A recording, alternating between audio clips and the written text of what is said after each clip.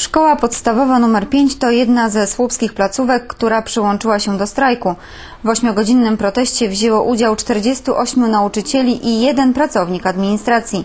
14 pedagogów przyszło dzisiaj do pracy, by zająć się dziećmi, które nie mogły zostać w domu. Związkowcy apelowali do rodziców o wyrozumiałość.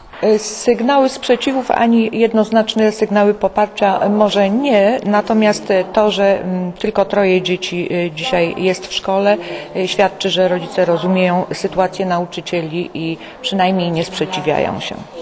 Gabriela Bereżecka, prezes Słupskiego Oddziału Związku Nauczycielstwa Polskiego, mówi, że pedagodzy mają dość pustych obietnic rządowych.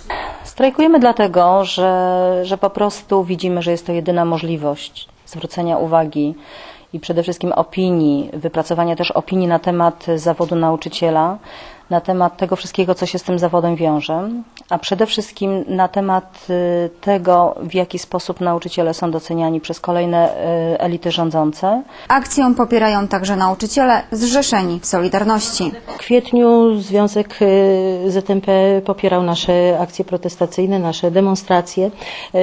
W tej chwili my wspieramy akcję strajkową. Wiem, że związkowcy Solidarności w wielu placówkach przystąpili do strajku. Decyzja o strajku zapadła po referendum, w którym wzięło udział 70% uprawnionych pedagogów.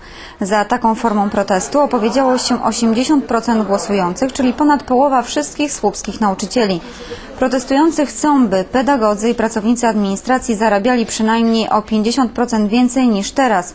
Domagają się także utrzymania korzystnych zapisów w karcie nauczyciela oraz uregulowania kwestii emerytalnych.